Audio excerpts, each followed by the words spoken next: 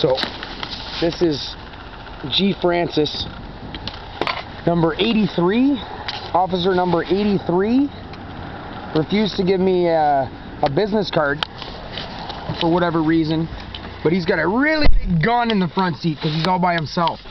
And he scared the crap out of me, like putting on his gloves, sneaking around the building, pretending like he's going through the drive-through when he isn't. I go into the bathroom, I come out, and he's gonna pretend like he's just here to talk to me.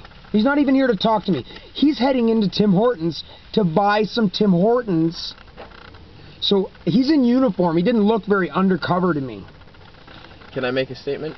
Please do. It's unfortunate that I didn't get it on camera because when I noticed the employee of Tim Hortons leaving the building here as the police officer came through here, I had to put the battery back in. But that's what I noticed. That, that police officer vehicle came through the drive-through, and as it came out this way, and then uh, a manager came with it, um, and came, looked at me here, stood around the car, and then went into the Tim Hortons. Oh. So they are targeting this individual right here. Yeah, I think we've been targeted.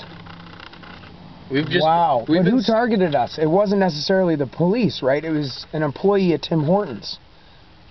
Now, the officer was saying that it was because there was solicitation going on. There was asking for money. Like I'm homeless. to my understanding, we went in and spent money We did. We each he bought me a coffee and myself a coffee. and we paid money for it. Apparently we used the Have queen to. queen's money. Made this happen. It's pretty cool. It's pretty awesome. Thanks, Queenie. Whoever you I- are, because I, that's don't know you, but That's right. uh, you're not She- my she's queen. not my queen. You have a title called Queen, so I'll address you by it. Apparently, she thinks she's sovereign, but she's not. You could cut her in half, and she would definitely be in two pieces and not one. Which you're not. She's not. i- i- sep- inseparable. She's not indivisible. So, anyway, and neither am I. You can cut off all my body parts, and all of a sudden, I'm not sovereign. I'm not sovereign anyway because I need air to breathe, and it just keeps coming and going. So there goes the officer, and he's really upset because we haven't left yet. Well, the thing is, we still haven't done anything wrong. And I'm moving along. Oh, I'm moving along. We're just making this documentation We're first. just, and yeah, I need to record some stuff here first. The traffic uh, act says that he has to be completely In uniform. focused. No, no, you have to be completely Oh, focused to- in oh. driving and not in this camera. So we can't move It's until more this is important to be safe. Safety first. That's right. So Now he's sitting at the Canadian Tire at Equita Park. he's watching us. Now he's definitely profiling us. And if he's parked over there, we're going to go over and we're going to talk to him. Because I'm upset because he did a little undercover and there's something in in the Canadian Criminal Code called skulking. Now, if he's not undercover and he's not like he's not like under the cover of a liability insurance that has been applied to his uh, all capital legal legal fiction name so that he can actually operate in commerce under cover. Under cover of what? The liability insurance. So now he's going to act like a regular individual, but he knows, and the liability insurance, which is the other side of the contract, they know that he is is a uniformed officer, even though he's out of the uniform or not in uniform, but he's in uniform because he's under the liability.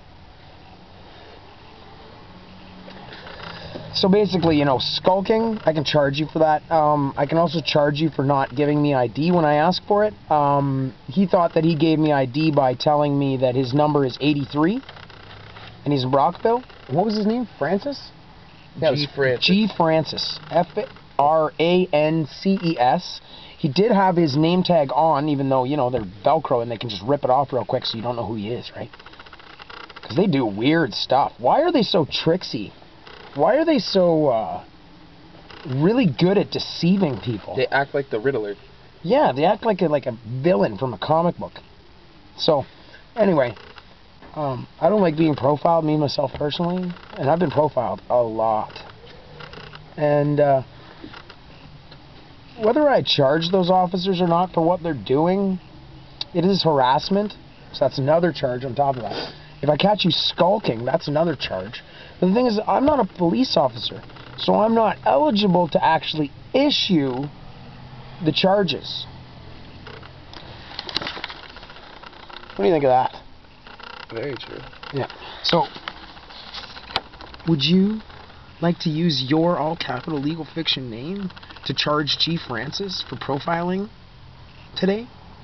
Because you know you got you got enough documentation here to know that you know he was trying to use coercion. He was trying to coerce me, almost like soliciting, almost like bribery. But the thing is, is I I you know, no amount of money will make me lie. No amount of money will make me kill somebody. No money, no amount of money will make me deny. Excuse me. No amount of money would make me accept that Satan is God. I know that sounds funny, but you know what? Satan's not God. And uh, I might have a little bit of Antichrist in me. A little bit of Satan might be working its working its uh, weird shit on me. What's the word? The word is good, and the word it was with God, and it is God.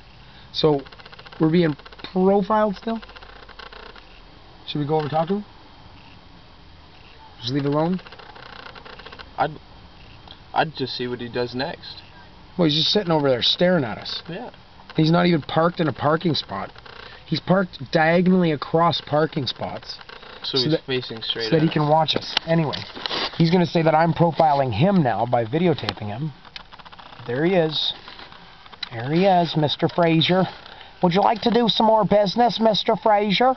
I don't mean to be demeaning. I'm not trying to be. I'm just trying to be funny because I think it's fucking hilarious how the police are fishing. They're fishers. They're fishermen. They're looking for fish. I'm a man. Why are you fishing for fish in a in a in a in a pond of men?